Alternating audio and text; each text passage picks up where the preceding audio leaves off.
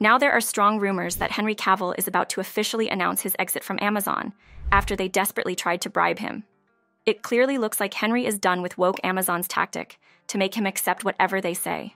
But as a strong man, what Henry would do, you could already guess. True to form, Henry's stance is what you'd expect. Stay loyal to the beloved source material that millions of fans love, or don't even bother striking a deal, or worse, trying to sway him with bribes. Well, this was almost expected. Amazon has reportedly stooped to new lows to push its agenda, even attempting to bribe Henry to soften his stance on Warhammer 40,000K lore changes. While it's still just a rumor, connecting the dots makes it seem pretty plausible. And where do these dots lead? Right to Games Workshop, the major stakeholder of the Warhammer universe. Games Workshop had already hinted at serious tension between Henry and Amazon, noting they'd do nearly anything to keep him on board. Anything but reversing the controversial and woke changes. They've also expressed concern that Henry might walk away from the project altogether after Amazon's rumored attempt to bribe him into compromising on the source material. But here's the interesting thing Henry's a man of resilience and true to his promises. So while it's just a rumor, Warhammer 40k has a huge problem, one that is only getting worse and worse at an exponential rate, and if isn't course corrected soon, could have dire consequences for the future of the franchise. Now, of course, I'm talking about the relentless oversaturation of Space Marines within the last decade. It sure seems so legit. Let's rewind a bit. This all started back in June when YouTuber Arch from the Archcast channel made a big claim. He suggested that the whole Warhammer 40k production with Amazon might be on shaky ground. Arch broke it down pretty clearly, explaining that as it stands, Games Workshop and Amazon have a handshake agreement. Nothing solid, nothing set in stone. Right now, he says, a team of Amazon writers is busy hammering out a story that's supposed to become the Warhammer 40k show. But here's the twist in the story they only have a few months left on their deadline to deliver something Amazon can actually greenlight. So, what happens if Amazon doesn't like what they see? According to Arch, there are three ways this can play out. Amazon gives the green light, they push the deadline to buy more time for a better script, or they shelve the whole thing entirely. But if you're thinking, it sounds pretty vague, that's exactly it. Arch even said his insider at Amazon hasn't seen any real money or commitment flow into this project. No fully assembled writing team, no firm budget, and certainly no final plans.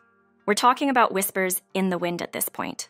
And now, Games Workshop has just confirmed that this isn't just fan speculation. Their annual report lays it all out. Amazon and Games Workshop have a 12 month period to hash out creative guidelines for any Warhammer 40,000 productions, which ends in December 2024. If they can't agree, the deal is dead. It's that simple. Games Workshop's exact words were The agreement will only proceed if the creative guidelines are mutually agreed. So while it's exciting to imagine Cavill headlining a Warhammer epic, this isn't a done deal yet, folks. Here's another twist though. If things do go well with 40k, Amazon has an option to expand their empire into the Warhammer Fantasy universe. Games Workshop's report specifies that if the Warhammer 40,000 project gets the green light and goes well, Amazon could go on to produce Warhammer Fantasy series or films. So this deal isn't just a one off, it's a potential franchise on the line.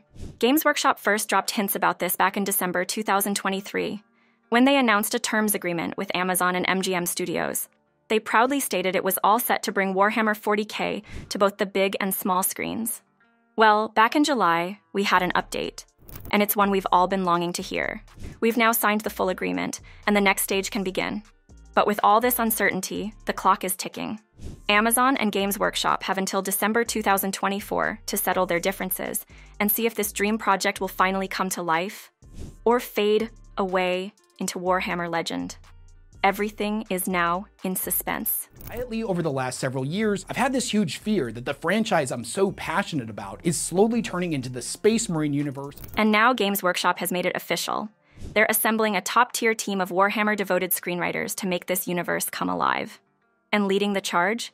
None other than Henry Cavill himself, ready to don the hat of executive producer. Bringing his passion, his vision, and yes, maybe even his sword or spear to the project.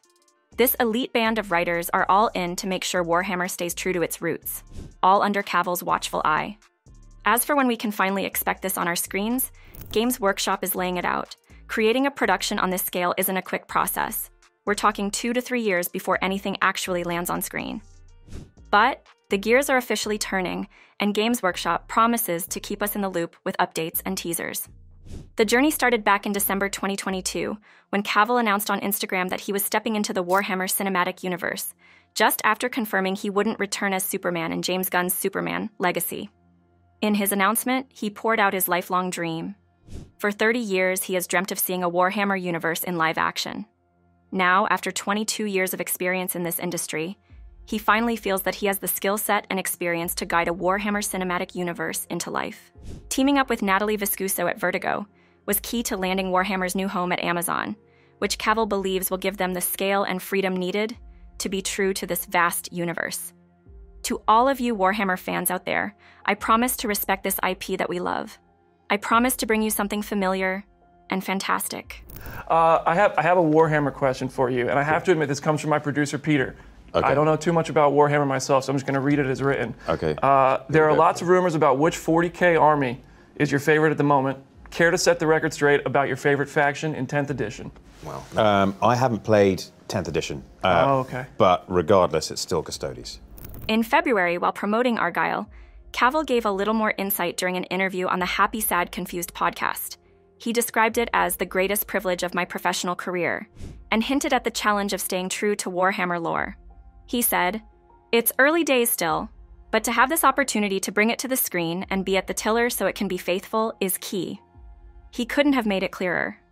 This is a passion project that's been brewing in his imagination since he was a kid. And speaking of collaborators, there's been some teasing about a possible partnership with director Matthew Vaughn.